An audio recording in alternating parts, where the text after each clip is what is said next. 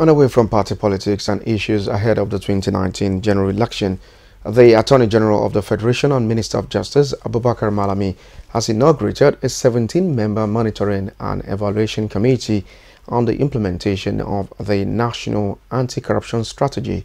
Malami inaugurated the committee which is to monitor and evaluate the strategy in Abuja.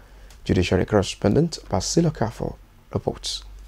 The National Anti-Corruption Strategy covering the period between 2017 to 2021 was said to have been validated on April 27, 2017 by relevant stakeholders. Speaking shortly before inaugurating the committee, the AGF said the monitoring of the National Anti-Corruption Strategy implementation will be achieved at three levels and that its annual review report shall be submitted to the Secretariat of the National Anti-Corruption Strategy in the office of the AGF, which will then be transmitted to the Federal Executive Council for more deliberations. The report, the AGF said, will include assessments of the level of implementation and challenges and make recommendations as well.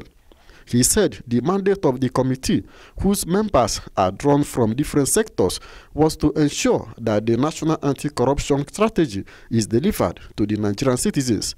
According to him, the strategy comprises five pillars, namely prevention, public engagement, ethical reorientation, enforcement and sanction, as well as recovery and management of proceeds of crime.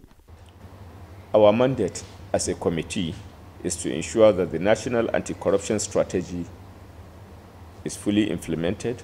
Members of the committee are drawn from the Fiscal Responsibility Commission, Bureau of Public Procurement, Office of the Head of Civil Service of the Federation, and the Code of Conduct Bureau, among others.